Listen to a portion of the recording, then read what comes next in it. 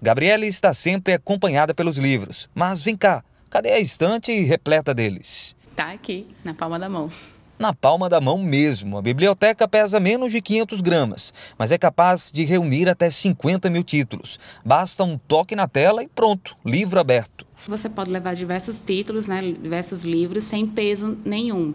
Então, ele é muito mais prático. E a bateria dele dura mais de 72 horas se você usar interruptamente. Se você sem parar, ele, a bateria dele é, ele é muito economia.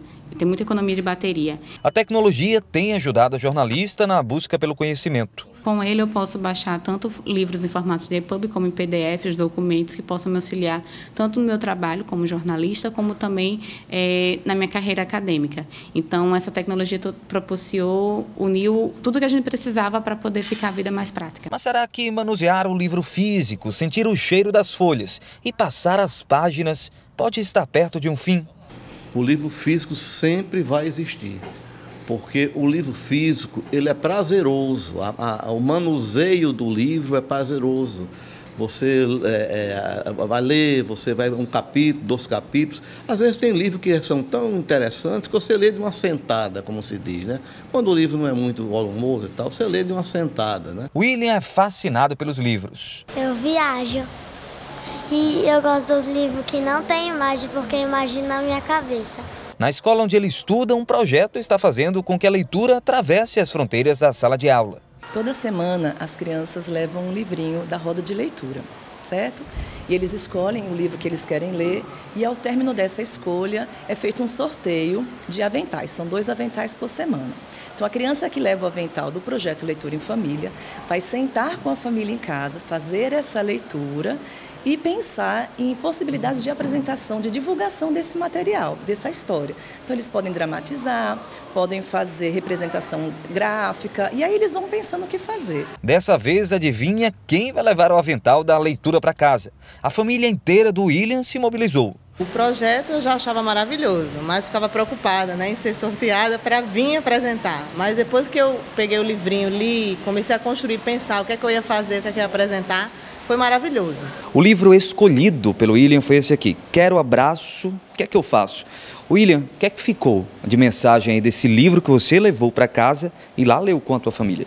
É mensagem porque quando não tem como amar de um jeito, pode amar de outro jeito. Lilian, no fim das contas, uma história cheia de metáforas e que pode passar muitas mensagens para a família inteira. Com certeza. Esse livrinho em especial, é como outros também, mas esse em especial que a gente apresentou realmente passou essa mensagem mesmo de que há várias formas de amar e de que às vezes a criança tem essa sensação que às vezes ah, mamãe não me ama porque não me faz isso, papai não me ama.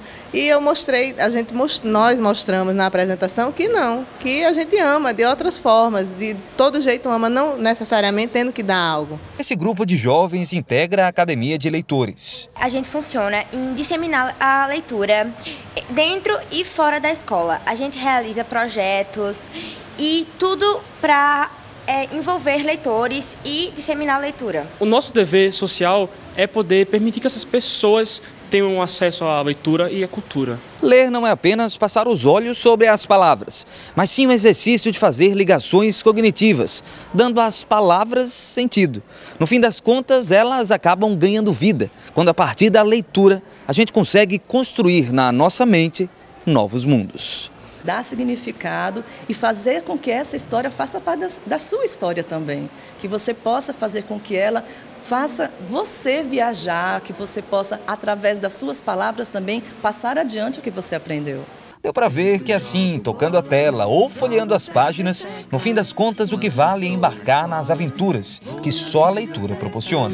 Todos ali gostam de ler, brincam lendo livros, lendo, lendo lindos livros, lendo livros de imagens, livro de letrinhas, livro que as palavras andam pelas linhas.